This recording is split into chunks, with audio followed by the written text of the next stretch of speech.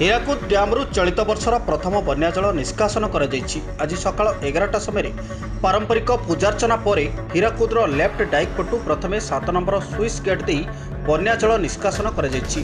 ମୁଣ୍ଡରେ ପ୍ରବଳ ବର୍ଷା ହେବା ଯୋଗୁଁ ହୀରାକୁଦ ଡ୍ୟାମ୍ର ଜଳସ୍ତର ବୃଦ୍ଧି ପାଇବା ପରେ ଆଜି ହୀରାକୁଦର ପାଞ୍ଚଟି ଗେଟ୍ ଖୋଲାଯାଇଛି। କର୍ପ ରୁଲ୍ ଅନୁସାରେ ହୀରାକୁଦର ଜଳସ୍ତର ଛଅଶହ ପାଞ୍ଚ ଫୁଟ ରହିବା କଥା ତେବେ ବର୍ତ୍ତମାନ ଜଳସ୍ତର ଛଅଶହ ତେର ଫୁଟ ଥିବାରୁ হ্রাস করা গেট খোলা যাই লেফট ডাইক্রে তিনটি খোলা যাই বেড়ে রাইট ডাইক্রে দুইটি গেট খোলা যাই পরিস্থিতি দেখি গেট পরিচালনা করা বলে ড্যাম্র মুখ্য যন্ত্রী সূচনা দিয়েছেন